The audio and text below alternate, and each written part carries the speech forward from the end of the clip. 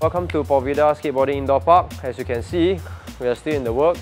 Yeah, we are about less than two weeks into our grand opening.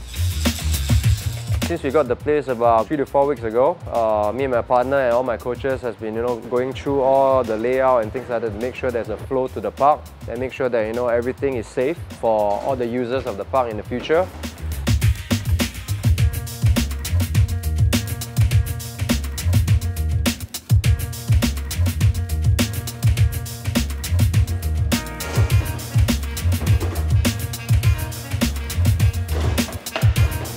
Know, the park, I want it to be catered more to my students. It's like conducive for the learning from total beginner all the way up to like advanced skater. It will still be fun.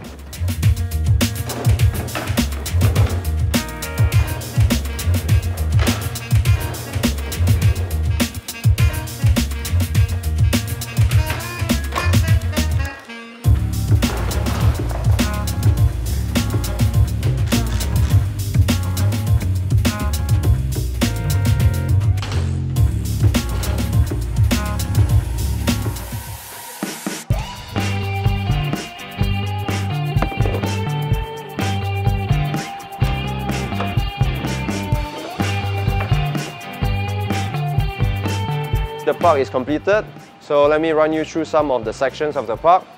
Let's go.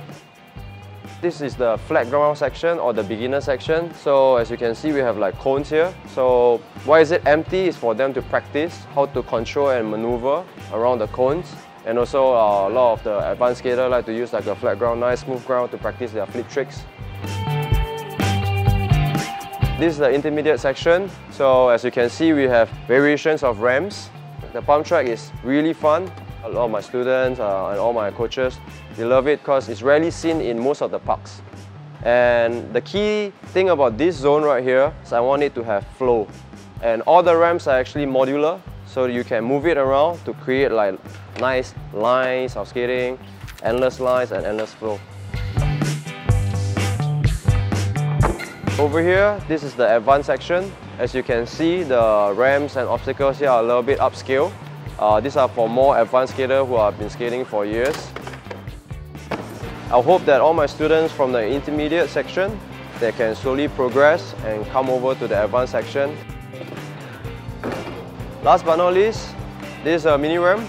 A lot of our local skaters, they really enjoy skating on mini ramps. Nothing too crazy, comfortable height, and of course the width. The width is very important because they like to set up their trick and grind across the coping right here.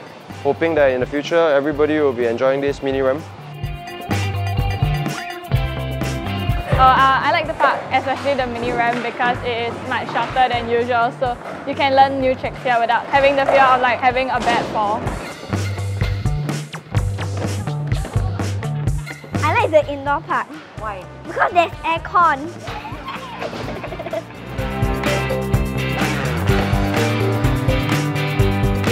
over here, I've learned uh, a new trick on the railing. Yeah, and I saw it.